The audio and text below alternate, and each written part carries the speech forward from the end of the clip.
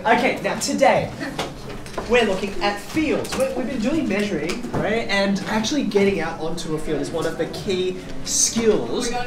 We're going to the Oval. Is one of the key skills under MM2. Okay. So here's the idea, and um, draw some rough diagrams here with me. Most of us think of a field as kind of rectangular, right? If you see a real soccer or football field, then clearly it's supposed to be a rectangle with, you know, 90 degrees, etc. Everything proper. However, in reality, right, out in the normal world, where you don't have people spending millions of dollars maintaining these things, fields are not rectangles. They are, and draw this with me as well, something like, oh, here's an example. Okay. Okay. Now, we're actually going to do some drawings on this, so if you have a ruler there, that'd be handy. If you don't, you'll, you'll be able to do one later. I draw this off at an angle for a reason. So you can see it's like, yeah, it's field-ish, it's rectangular-ish, but it's really... Come in, Just go that way. Oh, as in, oh, for me. Okay, sure. I need a pen. That's not very useful.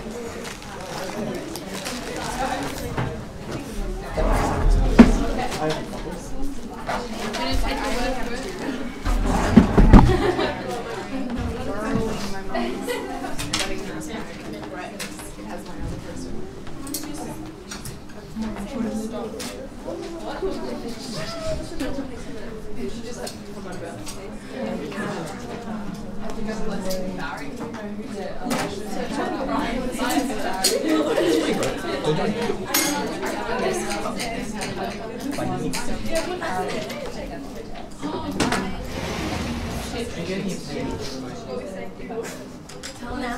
mean, I don't see why not. I think you would have to redraw it up yourself, like redraw the total. Okay, sorry everyone.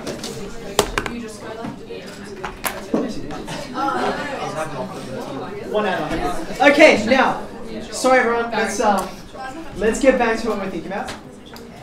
Now, this is worth actually writing down. Not rectangles, not rectangles, but a shape like this, straight edges, but none of the edges being equal to each other. We would call this an irregular polygon. Irregular meaning all the sides are different lengths, and polygon meaning you have straight edges. Okay. Now, working out measurements for these kinds of things, like the perimeter and the area, things we've been looking at over the last week or so, is a bit of a challenge when you've got something that's you can't use a formula because it's not a rectangle, not a triangle, not a trapezium.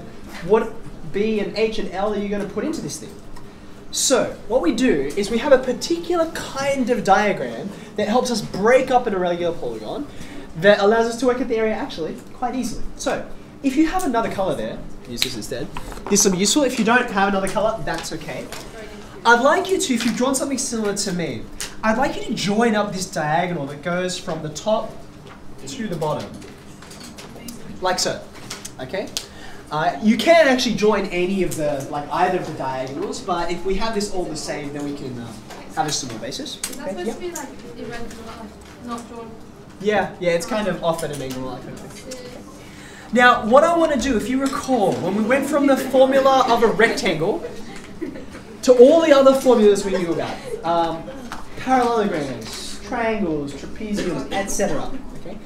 You might recall that a trick we used over and over again was to take a shape that's weird and try and twist it into a shape that's not so weird, right? And remember last lesson, last two lessons, we look at area of normal figures and area of what? What was last lesson? Do you remember? Composite shapes, right? Now you have a look.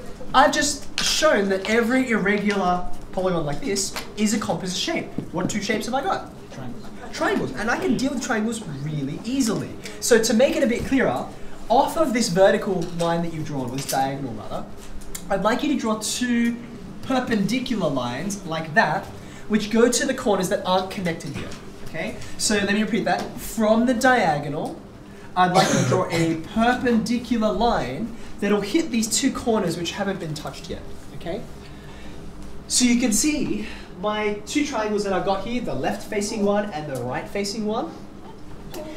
Each of them I can work out the area of, right?